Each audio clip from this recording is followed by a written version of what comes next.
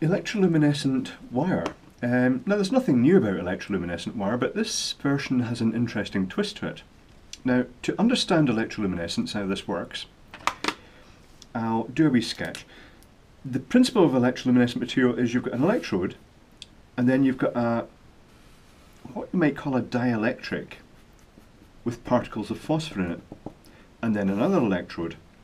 And it's you know, one way to describe electroluminescent material would be to call it an uh, light emitting capacitor because to make it emit light, you have to apply AC uh, voltage across it, and usually quite a high voltage, usually around about 100 volts or so.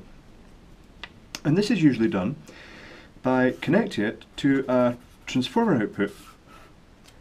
And um, in the case of uh, low voltage circuitry, all you'd do is maybe, in the very simplest type of uh, controller for this, it would be a just a very simple single transistor oscillator uh, with a low voltage primary and the higher voltage secondary and just a, maybe a feedback winding too.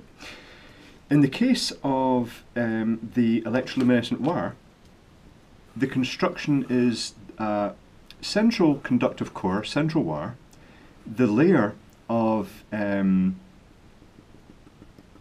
luminescent phosphor um, dielectric, an outer conductor,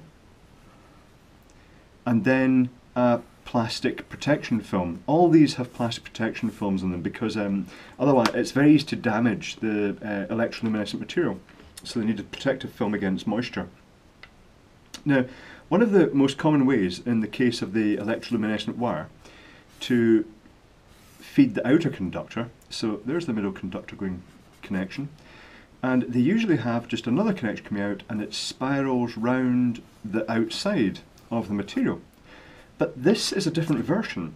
In this case, they've got that uh, same arrangement of the core down the middle, but they've actually got one really coarse wire, second one, and then a third wire wrapped round to create uh, three spirals.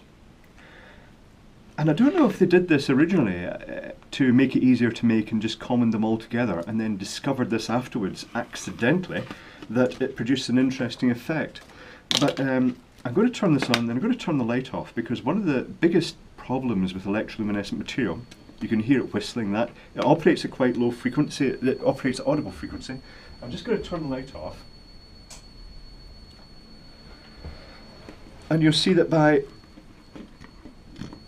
powering each of the three wires that are wrapped around this sequentially, it basically makes it chase along the full length of the wire, and it's a nice effect. It's it's uh, it's not very bright, but it is a good visual effect. Um, it's certainly visible to the naked eye, but as I say, it's not something you'd want to. Um, it's not hugely bright, but a good effect. I'll just turn the light back on again and then we'll take this to bits and see what's inside. I'm going to guess, I'm going to guess that there's going to be a retransformer, maybe either a self-oscillating circuit, um, and the way they have to switch the AC to each of these three channels, so I'm guessing it's going to be three triacs, tiny little triacs. Can't really think of any other component that would switch AC uh, conveniently. Well, I'll just disconnect this, it's easier. And maybe a chip on board, little blob maybe, for controlling the chasing.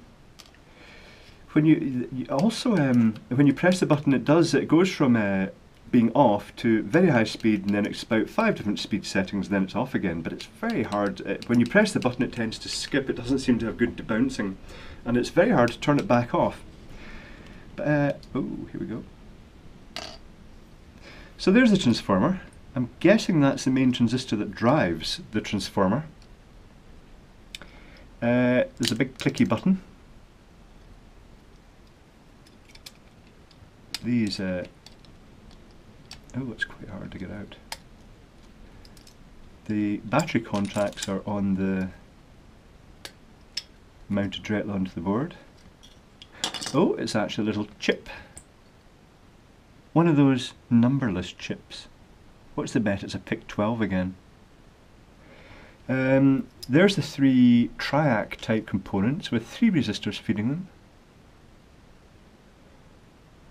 and then either this chip is also turning on, enabling this circuit, this self-resonant resonant circuit, or quite possibly the chip itself is actually providing the frequency that drives the, that transistor. It's really not a lot to it. The current that electroluminescent material takes is very, very low.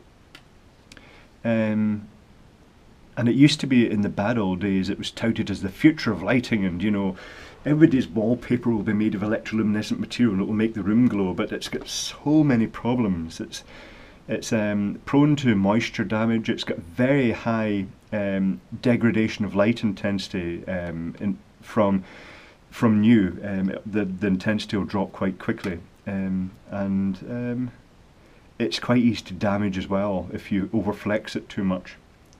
But um, that's it's an interesting enough thing. I got this from a company, a Chinese company called Sure Electronics. They do it in various colours, and it's not that expensive, but it really isn't bright at all.